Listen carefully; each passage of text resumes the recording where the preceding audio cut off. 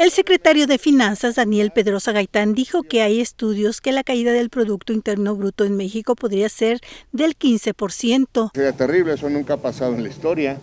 Simplemente imaginarnos una caída de, la economía del 15%, pues es terrible.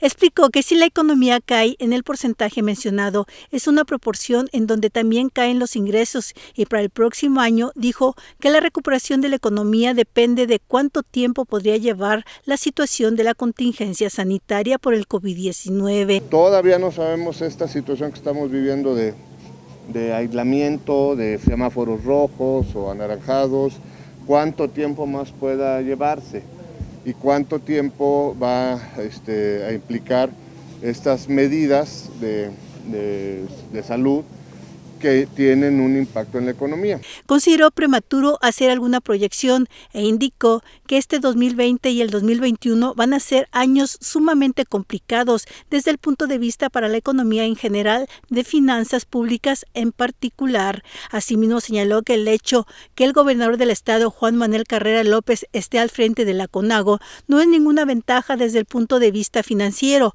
porque él está viendo por los 32 entidades federativas y no solamente por San Luis Potosí.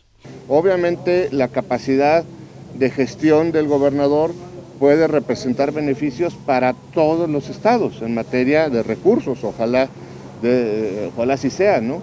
Pero no, no es una posición que le convenga a San Luis Potosí, es una posición en donde él está representando a todas las entidades federativas.